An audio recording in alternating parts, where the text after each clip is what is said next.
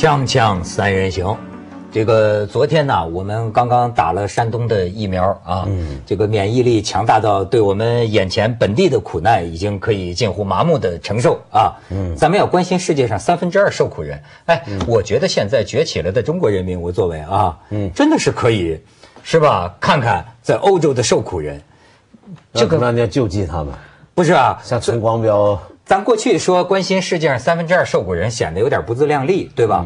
但是今天看起来，你仅就这个恐怖袭击这件事儿上来说，相比之下，咱们算不错了。没有中国恐怖袭击也不少啊。哎，香港现在也在谈难民问题了啊。对啊，是。其实中国比利时人前两天跟你一样。对，我觉得我们大家最多就是要叫做这叫什么呢？就是大家叫共患难。其实这是。对，而且是欧洲人这两天很愤怒啊！我的，我就我周围的这个欧洲人，昨天这个事情出来，大家都很愤怒，就说我们是就这个是战争了，他们觉得。那要怎么办呢？他们觉得要像美国人一样干点事情了，这个我觉得是最恐怖的。要发动战争吗？呃，战争已经发生了，战争已经发生了。这等于是宣战，巴黎之后轮到比利时这样子，而且比利时是针对欧盟了，其实等于是。哎，我有一个很幼稚的问题哈。这个伊斯兰国，嗯，就灭不了吗？呃，它比较复杂的地方是，你如果真的要军事上消灭它，那就要出动地面部队，不是现在这么天天炸着炸着就能搞得定。但是经过美军当年打伊拉克打成那样子之后，今天对于出动所谓地面部队这件事情，大家都有点头疼。第二就是。这个牵涉到伊斯兰国幅员是牵涉几个国家的，有叙利亚，有伊拉克，很复杂。呃，然后到底哪个国家出兵？大家这是什么样？这要不要个联军？要怎么样？背后的政治上又很复杂。你俄罗斯跟跟北约，大家立场也都不一样。太 太复杂了，是消灭得了。完了后面可能再出了个别的国呢？对啊，那你万一来个新伊斯兰国？那个纸牌屋里面不是说了吗？他有一个办法，抓了他们的头，嗯，然后呢叫他们停就停止战争，然后把那个头去扶植成伊拉克的新政权的，呃，这个总理或者什么，就跟他们做一个交易。但是现在一般来说，美国人是不跟恐怖分子谈判嘛，就不能做这个交易。如果你要黑到像纸牌屋这个里头去跟他做交易，啊，哎，但是 不。就是说，你说这纸牌屋对纸牌屋也是我学习恐怖主义一个主要的来源。就是你看，照我纸牌屋里边的这个讲话，有个中央情报局那特工不就是说嘛，说现在大批的难民正在在某地集结，对吧？他们当中多少人都拿着武器。那么那个将军就问了，你说我们该怎么办吗？他说，你要真解决目前这种情况，你就把那个地方灭绝。你这个意思就是没有这个官兵不不是民兵不分呐，哎，但是且别说这边纸牌屋的事儿了，我就说这个欧洲这个这真是战火烧到家门口了。你可以看看这个照片呐，惊天霹雳一般呐。你看现在呃，就说法国人还爱画画漫画漫画吗？说说法国和比利时难兄难弟啊。呃，再看下边，你看这是外国。嗯，就爆炸发生的地点，一个是机场，一个地铁嘛，对，是吧？然后再看这个，哎，这是机场一个候机大厅，听说还是接近美国那个航班的那个那个 check in 的地方。嗯，然后你再看，啊，炸的一地狼藉。呃，再看这个，再往下看，这个到我们现在录像时为止，好像遇难人数三十四人，是吧？三十四人，这是地铁里的爆炸，嗯，这地铁里的，呃，听说是，呃，怀疑是。自杀式炸弹这个袭击，嗯啊，对，呃，这是受袭的人群，这这是也呃，这是抓住了一个嫌犯。当然，现在一般的消息说，有可能也跟在。布鲁塞尔抓了这个巴黎恐袭的一个嫌犯，嗯，呃，是不是他们有报复啊？有什么？是不是跟这个有关？也不一定。他们说，因为那个消息出来才四天嘛，说真的那么快，他们就能够组织起来吗？有可能是因为那个人落网以后，使得其他本来在筹划的人认为我们要提前开始了，嗯，因为不然的话我们也被抓了，有可能是这个。还有一个就是你注意到，他恐怖袭击这两个地点哦，都是安检其实特别难做的地方。就过去你像九幺幺，它是劫一架飞机，对吧？他得通过多少层检查，他可以上到飞机。他现在是在你这个 check in 地方，谁都拿着一个大包，对不对？那个前面是没有任何人来查你的，谁都推了个大行李，咣这样过去。还有一个是地铁，地铁你是更难查的。嗯，我昨天看那个新闻报道，然后然后然后他们就在讨论说，那我们以后那要不要在机场外面 check in 之前就开始来检查？嗯，那他可以在你在外面，他再给你来一次啊。所以你这一道道你的安全线往外推是没有用的，他们一定还是能够在你最外围那一圈跟你去设置。不过离得越外围，就起码人群聚集程度可能好一点。比如说像中国，像新疆啊，嗯，就是在机场，当然北京现在也是进去的时候不是先扫一遍，但在新疆的话，它基本上是有一个很严格，就跟你里面那个安检差不多程序。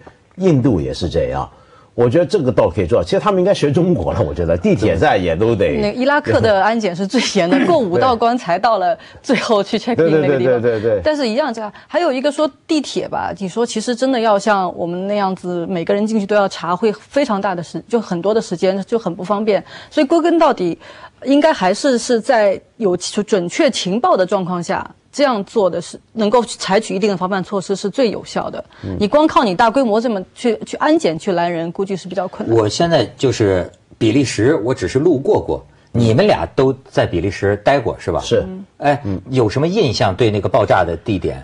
比利时，特别是这个呃布鲁塞尔，我上次去的时候就听他们说，他们叫它就是 Brussels 呃 bubble，就说这个地方它像一个。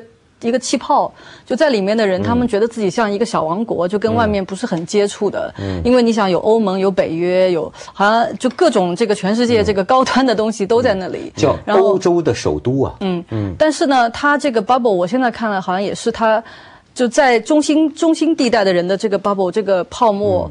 很厉害，他跟外面的那些相对来说偏远地区的人接触也是非常的少的。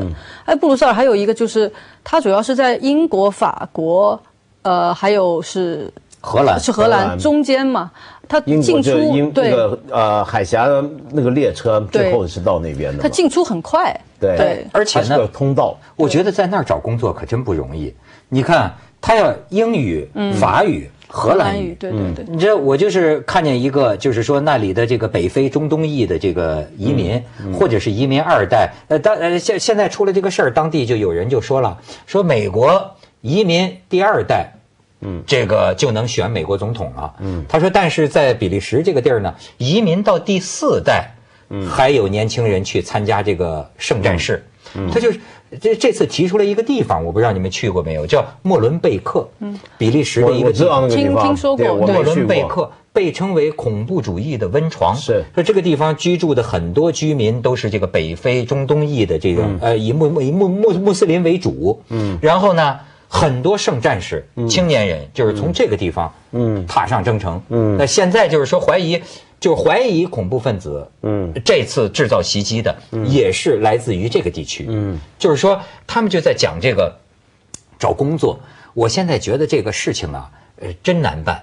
这要是徐老师在，那就是这个悲观论，就是说，因为你看，呃，所有外来的这个移民，他们有一个统计啊，接受面试啊，找工作接受面试获得机会的哈，本地人是他们的三倍。嗯，他就说，呃，当然没有人跟你说我是因为你是穆斯林，所以我不让你找这个工作，没有人这么讲。说相反，大家对这个话题都非常的敏感。嗯，可是呢，你就是很多人找不到找不到工作。他们这个，呃，你像呃，他调查有一个叫这个地区有一个人叫什么雅欣的，有我看他们采访有这么一个人，他就说我大学毕业。啊，我有硕士，有什么？我不想干体力活我不想像我父亲一样当建筑工，我想到个大公司工作。他说：“可是我找了多少家，没有人要我，也没有人告诉我不要你是因为穆斯林啊。”他但是就是没有人要我。嗯，那么那么就是慢慢的，他就觉得在这个地方的很多年轻人呢，说这个大概当地有个妇女就说呀，说这百分之三十到四十的年轻人找不着工作，整天在我们街上这个闲逛。他不整出点事儿来，那那那那那那那才怪呢。不过比利时，我们这么看啊，这几个国家的情况都不一样。首先，美国，你刚刚讲美国移民二代，美国跟欧洲就已经很不一样。美国是一个首先穆斯林移民比较少的国家，相对比欧洲。对。欧洲吸收了大量中东跟北非移民，美国很少。地理上的关系，地理上关系，所以我们不能够很简单的说，哎，美国是不是移民政策比较成功，还是文化同化比较成功？不一定。比如说，我举个例子，其实从文化或者政策上最接近美国的，在欧洲是英国，在处理移民或者文化的多元问题上面，但英国不是照样出移民二三代当恐怖分子去了吗？对不对？那所以这就不能一呃一概而论。接下来再讲欧洲之中，比利时又很特别。比利时这个国家，我觉得很麻烦。它跟它为什么会成为这所谓恐怖主义温床啊？它跟欧洲别的国家不一样。你别的国家也有很多是双语的、三语的，那你瑞士怎么办？对不对？但是比利时的问题是，它本身这个国家就是隔离的，它地方主义很盛行。你布鲁塞尔跟安特卫普跟根特，大家都已经觉得是不一样了。对。然后他讲荷语、讲法语又是分开的。对。他们讲荷语的警察和讲法语的警察还不合作。对，还不合作。它本身就是个社会上就是重重的，就是分隔的一个地方。你一个移民来到这样的社会，你表面上它看起来很华美、很光鲜、很开放，但其一个人一进去就是被隔进一个小隔间，那是都是透明玻璃隔间。嗯，那你这种情况是最容易诞生这种问题的。而且它又很吸引人去。我听说我在那边碰到过一个。呃，中国人他就跟我讲啊，说特别愿意来这边，很多那个难民移民啊，说你即使你是非法移民啊，你来了抓住你没有证件吧，送到海边度假屋去先待着，每天发零呃给你发那个那个零花钱，你就待着吧，然后一直在审理审理，最后还能让你进来。所以一方面他进来以后的处理的问题是比较困难，另一方面他又很吸引人去。而且他当地呢还有个很好玩的事情，就是说他的这个穆斯林社区啊，不像其他地方，他有本地的那个 imam，就是叫什么宗教长老，就是帮他们念，就带他们念经的这样这样一个首领。比利时的这些人啊，他们好多是从外头来的，他当地没有本土的 imam，流动性很大，好多人就直接从沙特过来，他带着一些原教旨主义的这个东西就过来。你看啊，这个我觉得现在就说是所谓这种激进青年啊，他呃。的这种群落性的活动方式，就像咱们想到互联网，现在有一种就部落式的这种活动方式，跟老一代人不一样。是他们讲，就说这个莫伦贝克这个地方啊，嗯，就是说，呃，比如说比利时可能有三百座清真寺，这个莫伦贝克这个地方就占了二十多座。嗯，他传统的像这个中老年人，他们就是去这个礼拜嘛，大清真寺做礼拜。但是那些有一些失业的年轻人，他们越来越倾向于，哎。你看，首先他在家庭教会一样，对，他在社会上觉得忙无所依，对吧？悠悠逛逛，找不到工作。哎，在这个时候呢，他觉得有一种茫然，嗯，也是说，说我只有在清真寺那里，我才觉得心灵的安宁。可是他不是跟着他父亲去那个大清真寺去做礼拜，他更多的是去一些很小的，就像你说的。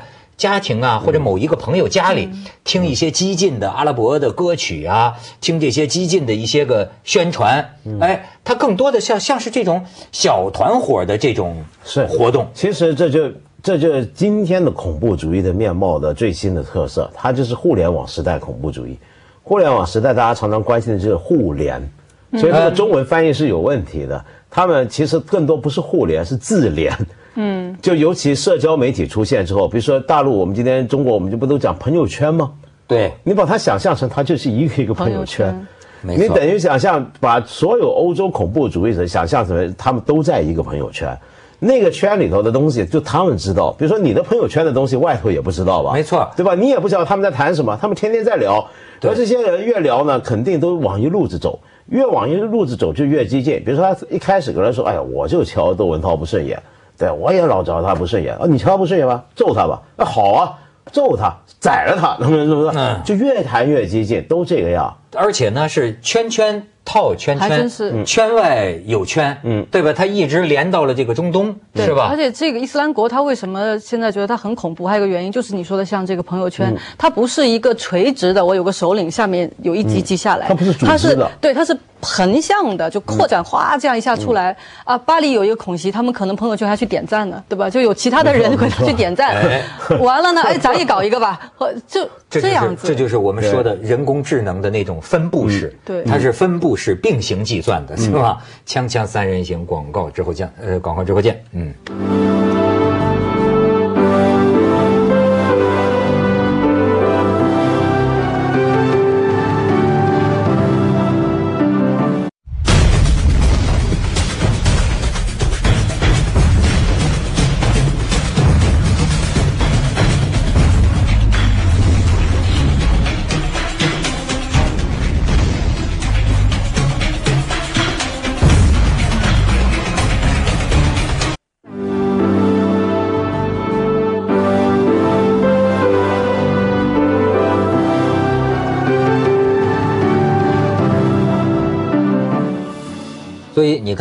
什么叫网络恐怖主义？我觉得咱们现在聊的这个啊，就就结合上咱们现在对于网络的一些认识，我觉得就是并行计算啊，是一种很难中断的结构。嗯，就是过去你看人们研究这个人工智能的时候，就发现你要是线性的、单向的，哎，这就像咱们这个电路，你你这个并并联的，它断了一个不怕，它都就像人的这个大脑啊，过去说说哎什么地方，比如说拴住了。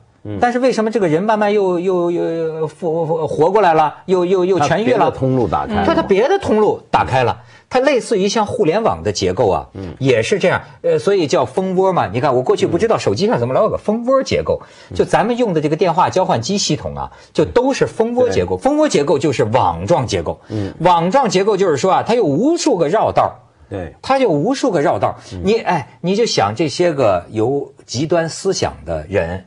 他们的这种蜂窝状的这种联系并联的这种方式啊，简直是很难查，很打断了一条，他在另一个方向上朋友圈连起来。包括他们的钱的流出流进也是这样。伊斯兰国不是很有钱吗？是打赏吗？那是打赏吗？对，就是 比如说你炸了，他那说来打赏献花，没错。他那种他的那种钱的流向，比如说大家一直盯着伊斯兰国，就怎么样砍断他财源，说怎么砍断他石油，怎么样？但是他很多种买卖生意，他经营毒品啊，然后各种的非法业务都很多。但基本上整个钱的流动啊，你是砍不断的。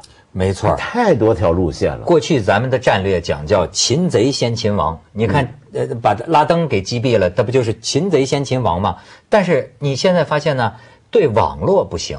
你看，对网络的研究是，网络是个没有中心的，叫去中心化。嗯，它没有中心，它这个网状结构啊，我现在越来越觉得这个东西很玄妙。它这个每一个都是一个自组织的系统，每比如说咱们仨就是一个自组织的系统，但是咱们又跟那儿串着，一会儿一会儿一会儿一会儿的，共同构成了一个像宇宙一样的这种像神经元一样的这种连接。哎，真的是。你去掉哪个中心呢？你去掉哪个中心，你都发现他弄不死他，那你怎么办？还有一个我在想，是谁把他们变成了他们自己跟自己的朋友圈玩，而不跟其他人玩呢？嗯，其实呃，我一我看很多报道，经常就说，反正一出来这种事情，他们就说贫穷啊，这个失业率低啊，然后他在社会上有玻璃天花板呐，这个当然是很多原因，而且我们看到这种原因，现在也都已经觉得是一个定式了。但是我始终觉得我还没有。感受到这个东西到底是哪哪哪一种心理状态促成了他要去干这个事情啊？我最近我就有一个有一件事情会让我就觉得说，哎，我好像感觉到了是个什么原因。我们朋友里面啊，就有一个人，其实他是一个穆斯林，就平时大家玩的都挺好，而且他是个很世俗的一个穆斯林，就除了在饮食结构上什么跟我有些不一样以外，其他大家嘻嘻哈哈都没事。后来呢？他最近，因为我们就不知道怎么聊天，在讲什么天主教的事儿，他就会很敏感。哎，你们聊这个宗教为什么？为什么不谈谈我们？哎，我觉得很奇怪啊。后来我们跟他在聊，慢慢聊，他就说，可能这个东西是慢慢跟他以前的经历有关。他以前呢在北京住着，他就发现别人对他的这个身份很好奇，就老是盯着你，而你是一个穆斯林，然后出了什么事儿，这种事儿就来问他。慢慢就后来他跟一个非穆斯林去谈恋爱，就更就被就被很多人说，就慢慢是这个我们所谓的主流社会，我们老说他们不融进来啊，这个所谓的这个主流社会不断的在提醒他，你的是你是这样一个身份，你是外人，对，你是这样一个身，然后慢慢的他就会很在意自己这个身份，越在意越发现，哎，我这个身份里面有很多敏感的地方，慢慢慢慢他就会归到他那一个身份群落里面去。所以我觉得易军讲的太。太对，因为我后来我读过一些他一些人，他怎么他自述，怎么变成恐怖分子，但是后来又被抓，他那个自述通常都有这个经验，就他可能一开始，比如说英国那一批最明显嘛，那几个砍人头那些，他甚至不是贫穷，他也不是遇到玻璃天花板，他就是个大好青年，念大学，学校泡妞，踢足球队，然后去看曼联比赛，跟英国小孩完全一样。他就常常被人说你是个穆斯林，你怎么样？然后他就总觉得这个身份变成是个负担，变通常觉得自己身份是负担，就有两种可能。第一种可能就是想彻底的告别这个身份，割裂它；第二种是怎么样？就好奇我这个身份是怎么回事，要找到我这个身份的根源。他有时候会一下反过来，就变成由于大家都针对我这个身份，这个身份是我的负担，它使我自卑。但是我今天遇到一些人告诉我说：“你干嘛自卑？你应该自豪。嗯，身为穆斯林有什么可耻的？你知道真正当穆斯林的真意是什么吗？那些人都白痴，他哪懂我们穆斯林的伟大？哎，有道理。那你开始有信心，再回去再讲。穆斯林是世界上最伟大的宗教，我们伊斯兰是最怎么样？现在这些西方国家它都很堕落了，你不晓得吗？哎，看看，好像对。那么你平常爱玩什么？哦，老泡酒吧什么？喝酒呢？年轻人都爱喝。但是呢，你要想想看，我们真正的穆斯林不搞这个，你不跟他们喝酒，他们瞧不起你，你还瞧不起他们呢？你跟我们在一起吗？你可以瞧不起他们呢？你何必要跟他们掺和在一起？一步一步一步，通常这么走进去。哎，真是对。后来我那个朋友说啊，他如果相比较的话，他会觉得说，他以前在北京会觉得那种气氛，他是穆斯林身份会很敏感。但相对来说，到了香港，我听很好几个那个穆斯林跟我讲过，有中东的，有中国的，他们都说香港社会好像不太一样。你哪怕戴着头巾坐地铁，都没有人盯着你看。他们觉得在香港会相对觉得自由一点。后来我还看了个报道，特就特别好玩，说那个深水埗那边有一个穆斯林啊，开了一个他卖手机外卖什么的。他说香港人真好啊，对我们真。宽容，说我做礼拜的时候，他们不但不来这个干涉我，反而跟我说：“哎，你帮我跟那个你们的神说一说，让我也发财。”这太香港了，这种宽容精神，对吧？对呀，商人宽容精神。所以说，香港人拜的佛叫什么佛呀？连卡佛。对对对，锵锵三人行，广告之后见。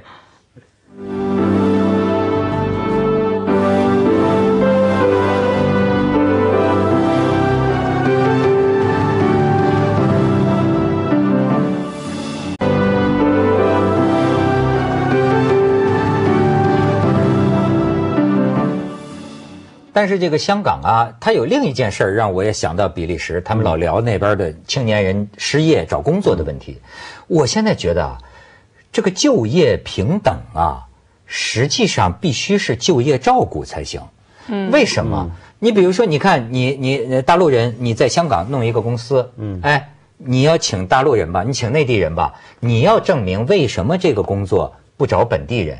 嗯，而非要需要是内地人，其实这个思维对任何一个雇主来说都是合理的，你明白？我我的意思是说，他不见得想歧视你啊，但是我这公司招人，我不招本地人，招你这个外来的移民，你可能连路都没他熟呢。嗯，你这个他这个是就，所以我的意思就是说，我要保持这个就业平等的正义啊，实际上我要略略倾向于你才对。对对吧？因为你总是比本地人会有一些个可能的劣势，所以为什么在教育上讲平等就会变成 affirmative action，就一定是所谓矫枉必须过正。是啊，对，是啊，这就是这就是民主的本质，它就是要让受弱势群体、少数人要去受益。比如说你刚才讲到那个瑞士哈，他们不是。几大语言，法语、德语，那个意大利语，还有一种叫罗曼史语，就百分之一的人讲。嗯，那百分之一的人，他们呢自己其实都会讲德语、法语，他都会讲。但是他们政府还拨款给罗曼史语开电视频道、开广播、办报纸，给你钱保护你的语言。对，这样的话你才可以就真正是叫平等。其实就你说的政策倾向，哎，只能是这样。可是呢？嗯，但这个东西又不只是就业问题。你比如说像刚才我们讲就业，你会发现，其实现在很多跑去参加 ISIS 的那些年轻人，他其实没有就业问题，他纯粹就是一种真的是现在过去常讲的所谓恐怖主义温床，什么贫穷、就业，这当然都很严重。但现在越来越关被被觉得重要的就是他的那个身份敏感问题。嗯，我觉得这一点，我包括我我自己觉得我们中国啊，真的要很小心。因为有时候我今天在网上看到有时候出这种事儿，那我就会很看到一些网民就直接就开骂，就是说这穆斯林就怎么样怎么样。我觉得我们真的要很敏感，这种东西如果网管他们真的很敏感，怎么的？我觉得这种东西也得留意，因为所有这些话都在刺激我们自己的穆斯林群体。呃，我觉得今天有时候我真的看到我们有一些穆斯林群体，特别是少数民族的一些。你真的觉得他们受到的那个待遇啊，其实是会恶化我们现在可能已经存在的一些问题的？对，有有吗？我觉得大体上中国人好像你你觉得没有吗？难道你没听过维吾尔维族人有时候去住酒店是人家不让他住吗？嗯，还有一个我觉得沃尔班江，沃尔班江曾经还有一个我特别担心，就是说，你像我们看，比如说在德国或者是在其他国家，他在欧洲，我们讲哦，这个人是右翼团体的。如果他讲我反移民，我怎么怎么样，我们知道哦，这个人是右翼团体的。但在中国其实没有左右的标签，我们的政治光谱是不清楚的，大家就是一团，就是民意，对吧？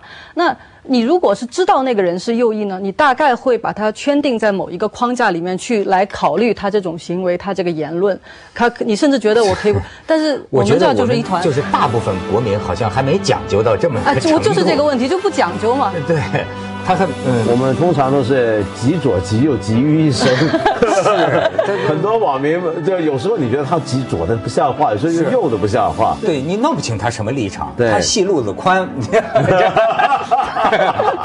要来什么就来什么。小的时